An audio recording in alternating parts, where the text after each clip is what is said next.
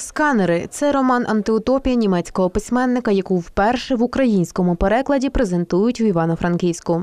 Also ich bin kein Lehrer. Я не вчитель, я нікого не буду повчати, але я хотів би просто, щоб читачі, люди звернули увагу, не були уважнішими, так і е, е, пам'ятали б про цю небезпеку цифрового світу, так і коли все в інтернеті є безплатно, безкоштовно, що це означає.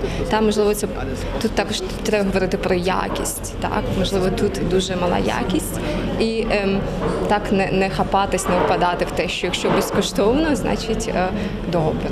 Перекладачем виступила Люба Стринадюк. Видавали книгу в дискурсусі. Книга була видана в рамках проекту на дотик. Це проект Гьоте інституту в Україні за підтримки Міністерства закордонних справ Німеччини. Суть проекту в тому, що українські видавці перекладають, видають і знайомлять е, українську аудиторію підлітків з антиутопіями німецьких авторів, сучасних німецьких авторів, які пишуть власне для підлітків. В рамках року мов відбулися літературні проекти. Одним із таких найголовніших проєктів для нас це був а, рік.